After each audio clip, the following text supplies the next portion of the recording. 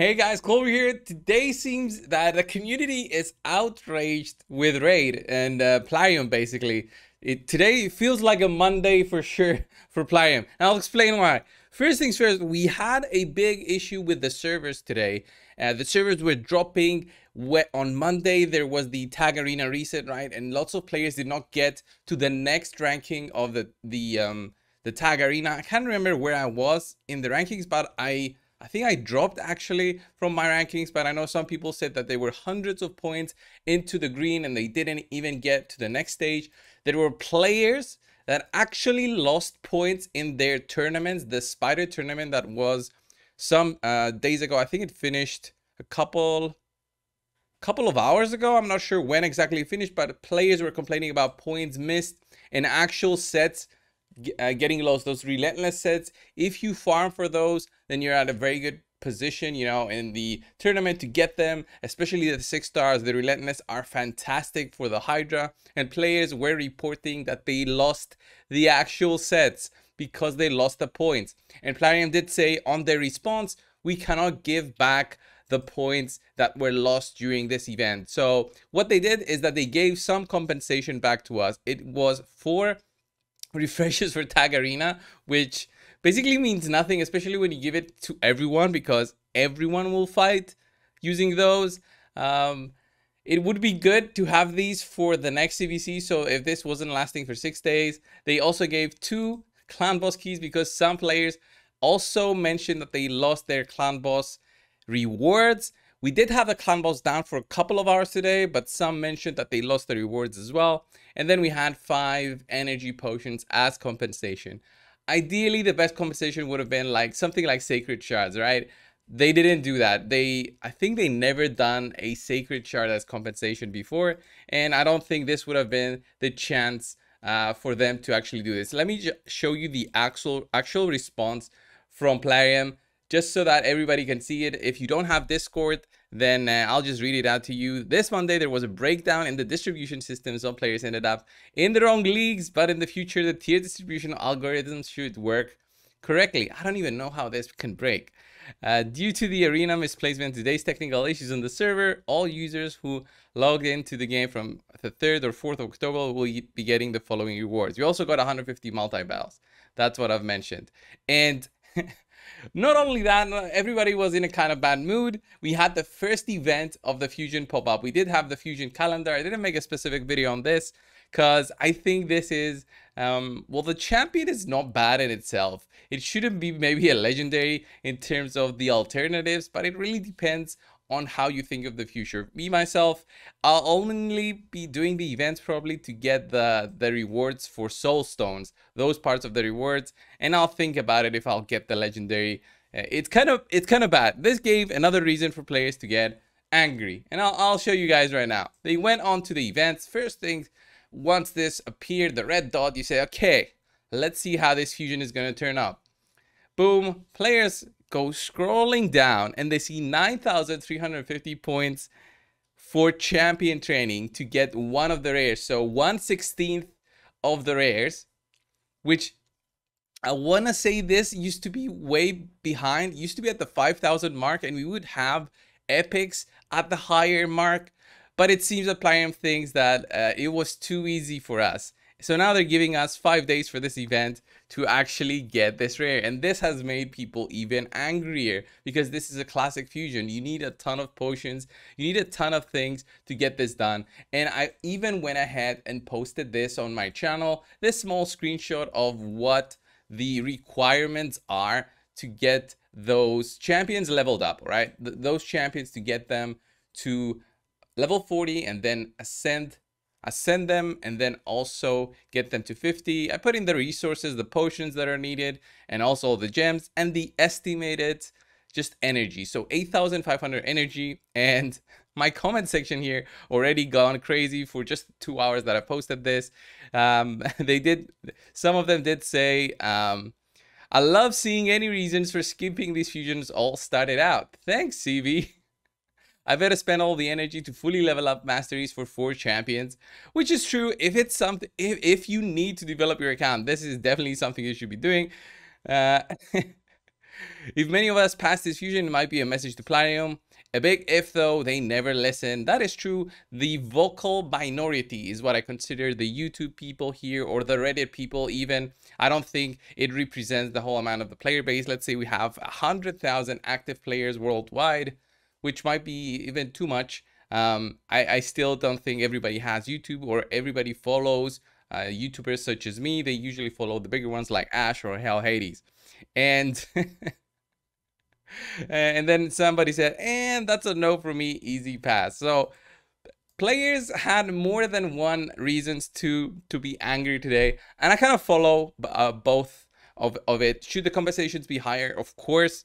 Um, I don't think that five energy potions justify just losing out a week of of progression for arenas, especially if you dropped back to silver. You're gonna miss out on the rewards for the accessories here in the gold here, if you were in gold and you dropped into silver because of an error, you basically um, lose a week's worth of accessories, which is something to consider. Um, you also lose tons of uh, gold bars if it's something that you're doing every single day. You're trying to get all the rewards like the, the Sacred Shard, which is something free-to-play players consider as a good reward for uh, their time investment into 3v3. And then we have the Fusion, which is people don't need another nuclear champion and they don't think a classical fusion is considered as a proper um you know a, a proper one it, it, should have been a classical fusion like this one for this champion right here it may, might have been easier than people would have um, done this a little bit would have reacted to this a little bit different so uh, th these are my thoughts guys on this I don't know what else is gonna pop up, but it's already the first day of the fusion. It's just a Tuesday, but I bet Plarium is is feeling is feeling tense with all the reaction from the community today. Another thing that players have mentioned that they realized now with all these events that now include the immortal soul stones and the immortal coins and the elder coins, whatever those are called, the, the better ones, the silver ones. Um, the community has actually realized that now we lose a ton of rewards from unique events such as the epic only tournament that is going on right now for the fire knight we used to have a void shard right here which had a big cost to players. A void shard could have been the one that gives them a nice epic or even a legendary you know? And then usually here we would have had some other big rewards such as gems or um, a good amount of energy if I remember correctly. And this was mentioned in this thread here on Reddit, that people realize now we are actually losing out those epic books. We're losing out all those resources that as free-to-play players or mid-spenders even, we could pursue them in order to upgrade our account with the champions that we had already.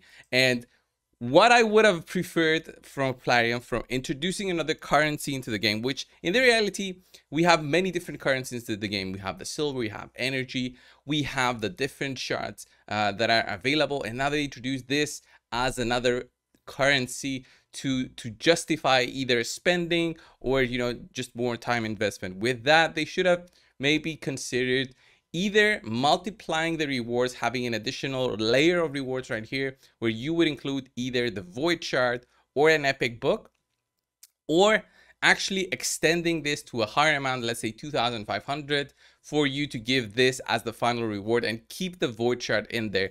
This, these are some of the small things that I would like to see change, and hopefully if this video gets some traction, maybe this goes to the right eyes and maybe something gets uh, recommended because again this is another example where they put the mortal soul stone and the immortal soul essence is here as a way for people to push and get these. But remember the the, the smaller accounts out there that even the mid spending accounts will have almost a zero value for a mortal soul stone or any mortal soul essence. Why i'm saying this? Because these two have basically no value with the fewer amount of champions you get. These will give you a, an essence, right? This can be random from one star to six stars. And this will actually allow you to purchase basically a one star blessing. After that, the cost goes high uh, like crazy, which is insane. But let's say considering this, you get one soul stone for a champion, then you just have that sitting there in your soul collection until you actually summon the champion. It's even worse trying to get the RNG to get the champion. It's even worse having to look at the champion but not have him, let's say like Tyrant Ixlimor right here, or even Royal Huntsman. Any of these four, which I don't have on my account, they're just sitting there reminding me of, of my bad luck and, and how everything is. There's also the anger for people spending all their resources every single day doing these as a daily thing. So Iron Fortress, I am personally doing it by uh, I am in the lucky part of the of let's say the raid community where I'm also a raid creator and by making videos, Plarium also compensates creators uh, with like gems every single week. So I say I'll use those gems and energy to actually get these mortal soul stones and that will allow me to make more content but even with doing this every single day this is what i've uh, managed to save in almost a month of having this available so like 500 of these 500 of the gold ones 13,000 of these i haven't been purchasing these for a while i'm just letting it sit there and i'll be accumulating this until I decide either I'll make a video or something, but that's why I have these high amounts. This is not like something I get every single day. And the same thing with the souls that I have right here. These are all either just luck or me doing the Hydra mostly and, and just just waiting to get a proper blessing for a champion that I'll actually uh, be thankful for. So lots of things to consider for Plarium. Getting into the closing part, the last three months of 2022. Will we see another content update? I highly doubt it. Will we see some more quality of life changes, some changes to the tournaments? Again, highly doubt it they never mentioned something like this, but uh, we never know. Like the biggest change in terms of quality of life came to us as a surprise, which was the artifact upgrade, the instant artifact upgrade, which was something we were begging for for years, literally years. So who knows? Maybe they do something for tournaments and events that changes things up now that we have this new currency. Maybe they introduce, you know, better compensations, as I mentioned at the start, or maybe they do nothing and we go into 2023 hopeful that they change something in 2023 and they bring in the additions that we're saying uh, for the arenas and all that. Thanks guys for watching, subscribe, and I'll see you in the next one. See ya.